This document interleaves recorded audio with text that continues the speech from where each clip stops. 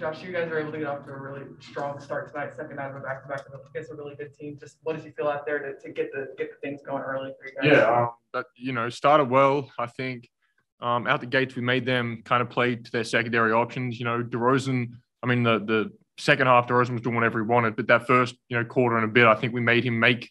I mean, he makes tough shots, but we you know Bays blocked a shot. We made him miss some tough ones. Um, but I think in that second half, you know, me, you know, included, I think we were late in rotations when they were posting Vucevic up. Um, DeRozan, we needed to be tighter in our shells, make him see presence. But um, at the end of the day, those guys made tough shots. I think for the most part, we competed well. But um, you see against good teams like this, it requires a full 48 minutes, which uh, we didn't put together just to go back to that defense, you guys had 10 blocks tonight in Bays, Isaiah Poku, all of them had over three. Just what what led to that and what was kind of the emphasis on that end of the floor for you guys? Yeah, um, you know, that's you know, when especially when Vooch is getting it down low, we know he's a you know, he's a score first mentality. So um, you know, they were able to get tips on that. Um, Bays is an elite defender. Um, he gets one of the toughest matchups every night and he does his job.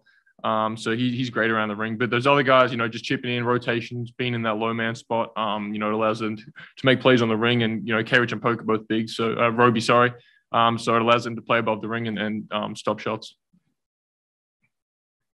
Josh, uh, what do you think of the fact that Bays is guarded DeRozan some possessions and Vucevic some possessions? I mean, he just seems to be a Swiss Army knife, like the guy you can put anywhere. Yeah, he's he's really versatile, and as I said, he's an elite defender. Um, he's long, he's quick, he's athletic, um, great laterally, um, and you know he guards one through five. He was on Coby White for a little bit, DeRozan, Vucevic, so he can guard anyone, um, and and it's a real real luxury to have, especially when we've got Lou, who's going to usually guard that primary ball handler, and then we can kind of put Bays on that next best, whether it's a one man or whether it's a five man, it doesn't matter. So, uh, luxury to have, and um, he was awesome for us for you as a guy that's on the ball a lot, if a team is putting a different defender upon you primarily as the course of the night goes on, is that can that bother you? You know, the way that, that you all mix and match bases assignments. Yeah, um, I mean, I mean, it's different. Like Dosunmu was kind of backing up, but that the guy off the bench that came in was kind of picking me up full court. So different guys um, play differently, uh, pick the ball up differently. So just adjusting to that. It usually takes me one possession. I figure out what they're doing.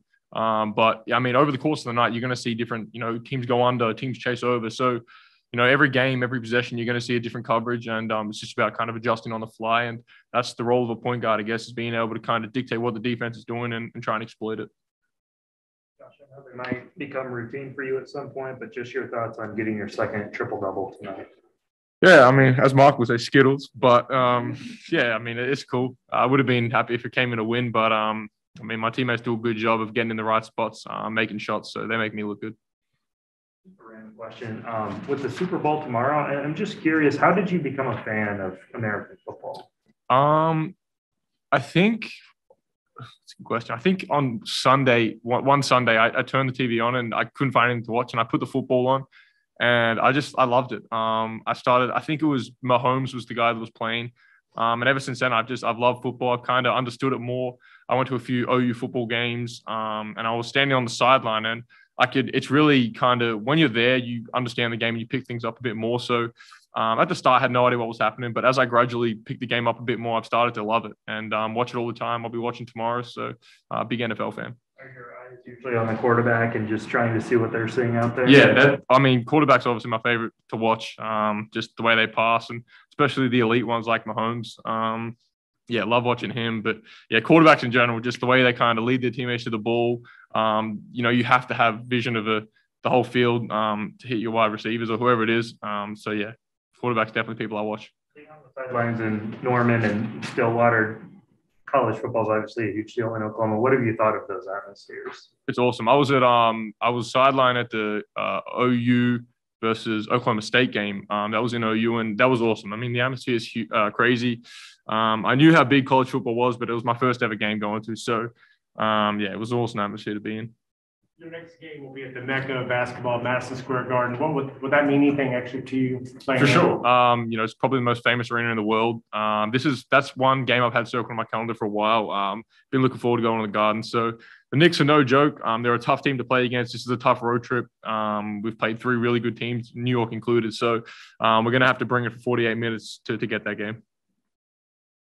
Anyone else? We have one last question on the Zoom. Go ahead and your shot.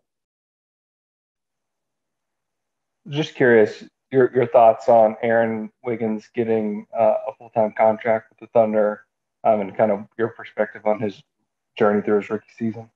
Yeah, uh, love Wiggs. Happy for the kid. Um, he deserves it. He's he's done his role. Um, I mean, from the 55th pick, you know, you, you, when you come into a team, you're probably uncertain of you know whether you're going to be in the G League, um, whether you're going to be getting minutes in the rotation. And to Wiggs' credit, he stuck with it all year. Um, wasn't playing a lot at the start, then moved into a starting role. Um, was when Lou was out, was put on the best player every night. Um, so Wiggs is awesome. He's a great kid. He works hard. Um, you know, you never hear you never hear someone say a bad word about him. So uh, really happy for him, and he deserves it. Thanks, guys. Uh, I don't. I like the Bengals. I love Joe Burrow.